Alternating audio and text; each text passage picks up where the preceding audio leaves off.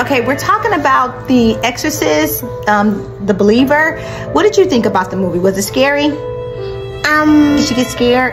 yes, I got Eh. scared. Yeah, it was kind of scary, but y'all, it was nothing like the original. I am 53-ish, going on 54-ish, and I still have, I, am still scared and I'm still terrorized by the original. I mean, it took me several years to rewatch it as an adult, and it was terrifying. Like this Hey, one guys. was not scary Me at all. back. It Me, was me, me. thrilling in some in some parts, but like when they brought back the original mother, um, it just it sent chills down my spine. And then they showed some pictures of the original girl in the movie, and I was just like clutching my Tiffany, and um, I was ter I was terrified. Did that scare you?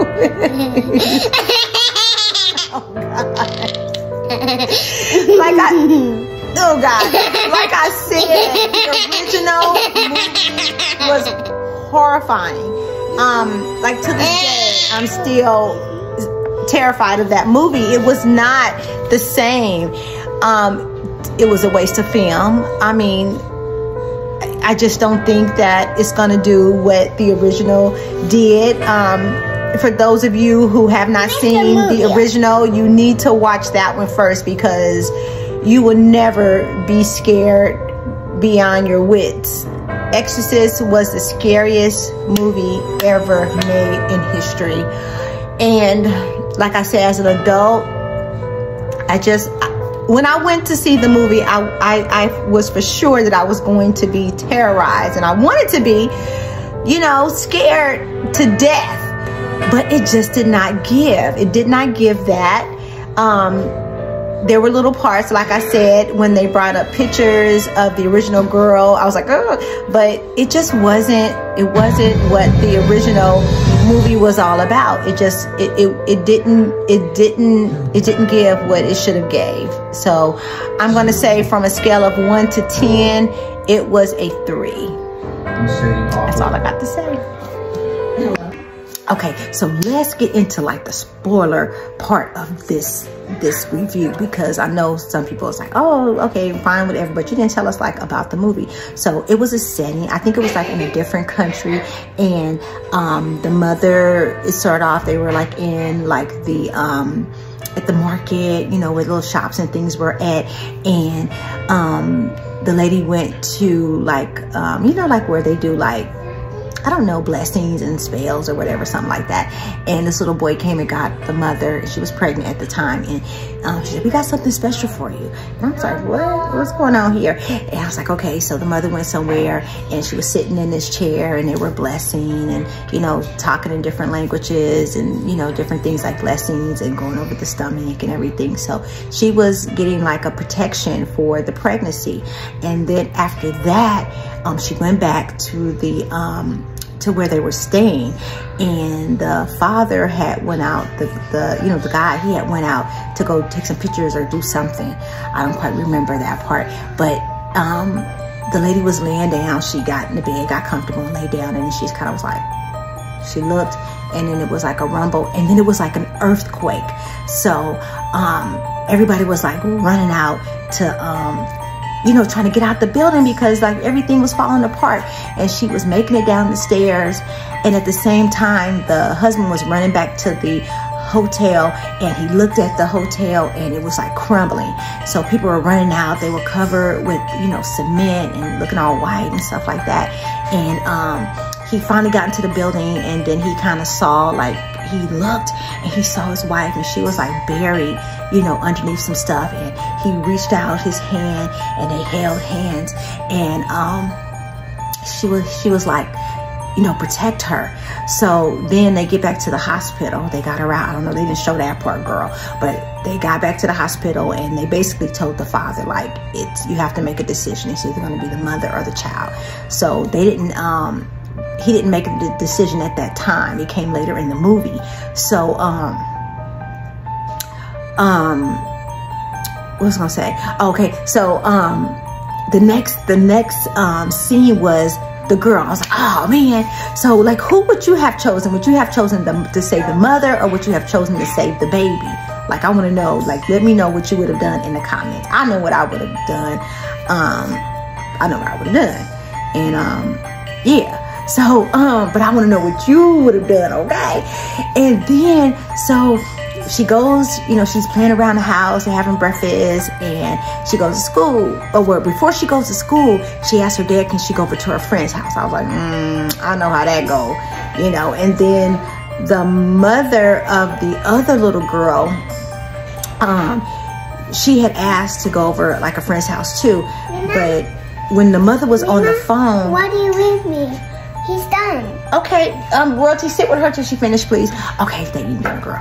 So, um, um, I knew it was something because the mother was like, go over to another girl's house. It wasn't the other girl's name. So I said, oh, they're up to something. So they're in school and the other girl, the black girl was whispering to this other girl and it was, um, got in trouble for talking.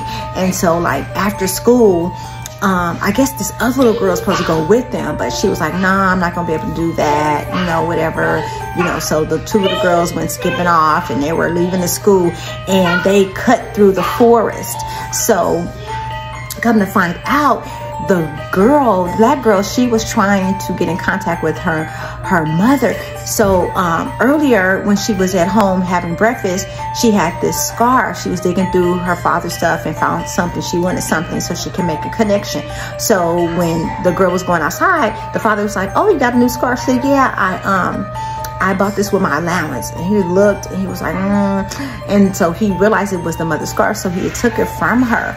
So back to them skipping through the forest. So they get to the forest and they start lighting candles and saying little stuff.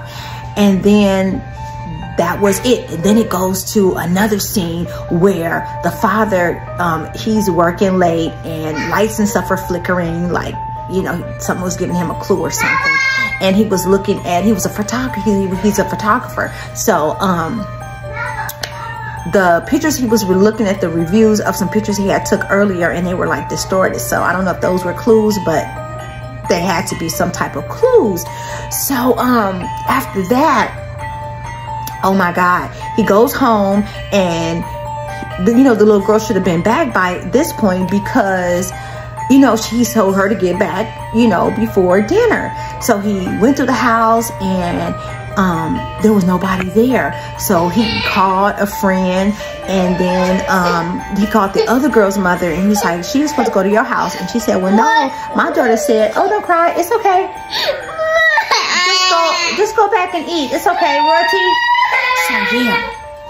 So, um, kind of find out, he called this other mother, so she's supposed to go to the other girl's house. So then they meet up and they start searching through the um, forest and the police are being called because they were like, oh my God, they called out the names in the forest and he's looking. And the father saw like this little dungeon thing, you know, at the corner of his eye. So he goes down there and he finds something and he finds her shoe and he's like, oh my God. So they were looking. So at this point, three days had passed. So then they go to like a, well, they're at the police station. Let me, let me, let me give you that because that's another little tippy tip. They're at the police station and they show like the footage and everything and they were trying to put clues together. And then the guy, the father, um, he was like, oh my God, because it was like a father with the daughter, with the black girl, and then it was a couple, they had a family. And um, they were just like asking questions He was like, so, you know, what, what what's really going on? What about your daughter? Is anything we need to know? And they were like, I don't know you. Um, anything we need to know. I don't know you. And all this is going back and forth. So they were getting a little rowdy at the police station. And then um they um, kind of calmed down. The police officer was like, look, y'all, we have to come together. There's no need to argue. Let's just figure this out. We got to work together. So um, the, um, like three days had passed and they heard nothing. They had put flyers, they were on the news and everything like that. And then um, the father comes home and then the next door neighbor have these these healers and different people in her room praying and stuff. He was like, get the house and don't come back. And they were like, we, you know, we want to be there for you. And sometimes, you know, when things happen like this, you have to think outside the box and we just want to help you with your neighbors and everything. But the neighbor next door also was a nurse. So, um, she plays a big part in this too. And I'll tell you how she's connected to the story in just a second. So, um, it goes to another scene and then it says basically this it was a cow like in the street. And the father was like go get something for the cow. And the guy goes running in the barn and you know he's looking for stuff and he heard some noise. And then he sees the two little girls like sitting in the car talking about where are we? And um so then they rush him to the hospital.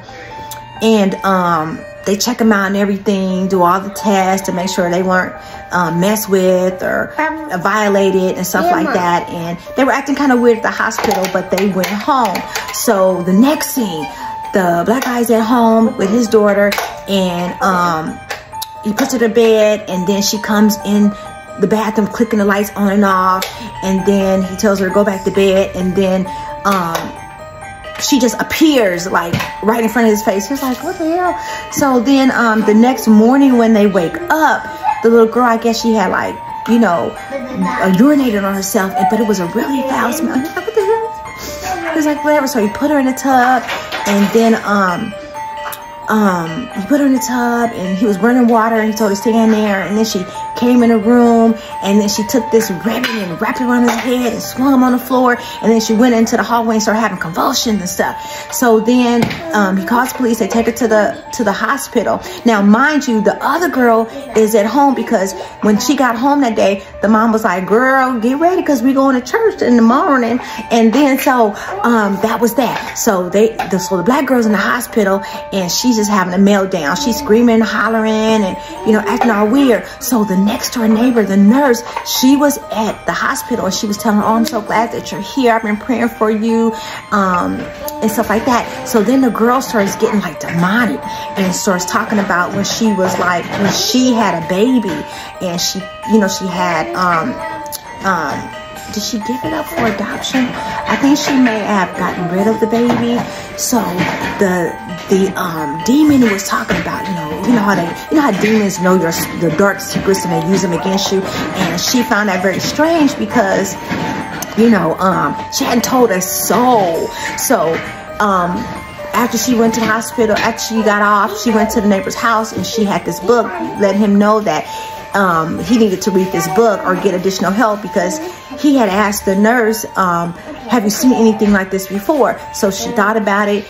She got, you know, the demon was talking to her and stuff and told her a secret that nobody knew. So she had this book about like um, exorcisms and stuff he needed to read. She was like, I don't believe in that. You know, you Christian people, when um, when things are good, God is good. But when things are bad, it's the devil. He been there, done that. So he didn't want to hear nothing about that kind of stuff. So um, he told her, well, you have a minute? He was like, well, I don't need no minute. Didn't I just tell you like I was done? And she was like, let me tell you what happened. She said that she was um, going to be a nun and that she, right before she was getting ready to, you know, be a nun, she had broke her vows and she ended up getting pregnant and she, um, I believe she said that she like didn't have the baby, if I'm not mistaken. So he said, I didn't tell a soul. Nobody knew, but um, nobody knew, but the girl told her the name and everything about what her name was going to be because they changed their names when they become a nun. So she was like, I'm just letting you know like something ain't right. So after that, it goes to another scene. And then um, the little girl's at church. Um, the white couple, they at church and little girl's taking her shoes off, acting all weird and, you know, doing little stuff, sitting down, acting all weird. And then um, she leaves because the parents are up after that. So um, it's the scene in the church. So the parents are taking communion and the little girl had left and she was coming down the aisle. And I know y'all seen like that footage on TV where she's coming down the aisle talking about um, the blood of Jesus, the blood of Jesus, the blood of Jesus. And so they um, got her and took her back home.